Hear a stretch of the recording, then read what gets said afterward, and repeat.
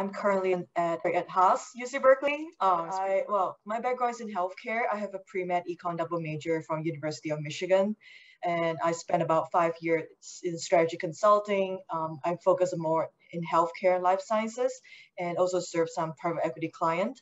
So that's where I got most of my um, prior, you know, M&A, private equity type of experience.